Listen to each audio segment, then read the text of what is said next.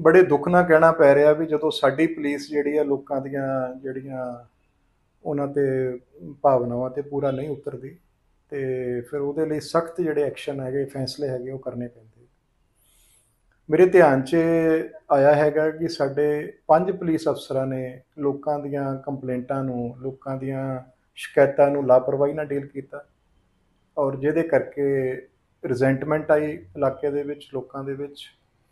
ਔਰ ਉਹਨਾਂ ਨੂੰ ਅਸੀਂ ਕੱਲ ਤੁਰੰਤ ਪ੍ਰਭਾਵ ਨਾਲ ਸਸਪੈਂਡ ਕਰਤਾ ਹੈਗਾ। ਡਿਪਾਰਟਮੈਂਟ ਇਲੈਕਸ਼ਨ ਉਹਨਾਂ ਦੇ ਖਿਲਾਫ ਜਿਹੜਾ ਉਹ ਇਨੀਸ਼ੀਏਟ ਸ਼ੁਰੂ ਕਰਤਾ ਗਿਆ ਹੈਗਾ। ਵਿਭਾਗੀ ਕਾਰਵਾਈ ਸ਼ੁਰੂ ਕਰਤੀਆਂ ਗਈਆਂ।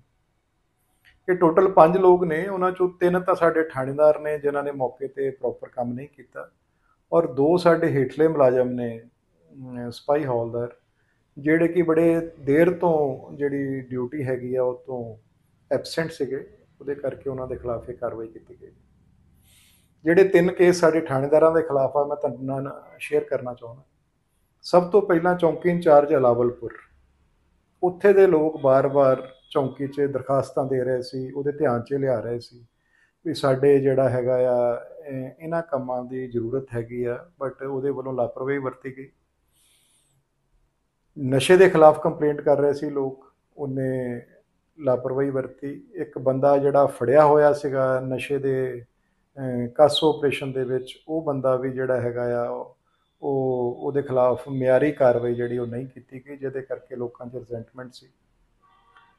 ਇਸੇ ਤਰੀਕੇ ਦੇ ਨਾਲ ਭੋਗਪੁਰ ਥਾਣੇ ਦੇ ਵਿੱਚ ਇੱਕ ਐਸਆਈ ਸੀਗਾ ਜਿਹੜਾ ਕਿ ਪਬਲਿਕਲੀ ਉਹਨੇ ਨਿਊਸੈਂਸ ਕੀਤੀ ਮਿਸਬਿਹੇਵ ਕੀਤਾ ਨਾਕੇ ਦੇ ਡਿਊਟੀ ਦੇ ਦੌਰਾਨ। ਔਰ ਉਸ ਤੋਂ ਬਾਅਦ ਦੂਜੀ ਪਾਰਟੀ ਤੇ ਰਾਜੀਨਾਮੇ ਲਈ ਪ੍ਰੈਸ਼ਰ ਪਾਇਆ ਜਿਹਦੇ ਨਾਲ ਇੱਕ ਹੋਰ ਜਿਹੜਾ ਫੌਜੀ ਕੇਸ, ਫੌਜਦਾਰੀ ਕੇਸ ਆ, ਉਹ ਦਰਜ ਹੋਇਆ। ਇਸੇ ਤਰੀਕੇ ਦੇ ਨਾਲ ਲੋਹੀਆਂ ਪੁਲਿਸ ਸਟੇਸ਼ਨ ਦੇ ਵਿੱਚ ਇੱਕ ਅਵਤਾਰ ਸਿੰਘ ਖਹਿਰਾ ਨਾਂ ਦਾ ਥਾਣੇਦਾਰ ਸੀਗਾ, ਜਿਹਨੇ ਇੱਕ 307 ਦੇ ਅਟੈਂਪਟ ਟੂ ਮਰਡਰ ਦੇ ਕੇਸ 'ਚ ਤਫਤੀਸ਼ ਜਿਹੜੀ ਬੜੀ ਢਿੱਲੀ ਕੀਤੀ, ਜਿਹਦੇ ਕਰਕੇ ਮਦਈਆਂ ਨੂੰ ਇਨਸਾਫ ਮਿਲਣ 'ਚ ਦੇਰੀ ਹੋਈ, ਉਹਨੂੰ ਵੀ ਸਸਪੈਂਡ ਕੀਤਾ ਗਿਆ। ਮੈਂ ਤੁਹਾਡੇ ਰਾਹੀਂ ਦੱਸਣਾ ਚਾਹੁੰਦਾ ਅਸੀਂ ਲੋਕਾਂ ਲਈ ਜਿਹੜੀ ਪੰਜਾਬ ਪੁਲਿਸ ਹੈ, ਜਲੰਧਰ ਰੂਰਲ ਪੁਲਿਸ ਹੈ, ਸਾਡੇ ਸੀਐਮ ਸਾਹਿਬ ਦੀ ਡੀਜੀਪੀ ਸਾਹਿਬ ਦੀ ਸਖਤ ਹਦਾਇਤ ਹੈ ਵੀ ਅਸੀਂ ਲੋਕਾਂ 'ਚ ਰਹੀਏ, ਲੋਕਾਂ ਦੀਆਂ ਗੱਲ ਸੁਣੀਏ ਔਰ ਉਹਨਾਂ ਦੇ ਉੱਪਰ ਤੁਰੰਤ ਪ੍ਰਭਾਵ ਨਾਲ ਕਾਰਵਾਈ ਕਰੀਏ। ਜਿਹੜਾ ਵੀ ਪੁਲਿਸ ਅਫਸਰ ਇਦਾਂ ਦੇ ਕੰਮਾਂ 'ਚ ਲਾਪਰਵਾਹੀ ਲਾਪਰਵਾਹੀ ਵਰਤਦਾ, ਉਹਦੇ ਖਿਲਾਫ ਐਕਸ਼ਨ ਲਿਆ ਜਾਊਗਾ, ਉਹਨੂੰ ਕਾਊਂਟੇਬਲ ਬਣਾਇਆ ਜਾਊਗਾ ਲੋਕਾਂ ਲਈ ਸਮਾਜ ਲਈ। Thank you very much